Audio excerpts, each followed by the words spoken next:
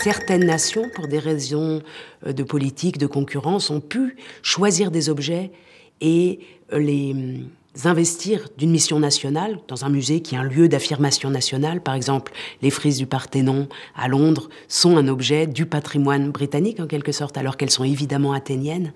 Donc la question de la nation est une question qui va nous occuper euh, constamment. Il ne s'agit pas de dire que la nation n'existe pas, mais de voir comment la nation se sert d'objets transnationaux, d'objets voués à circuler pour se construire.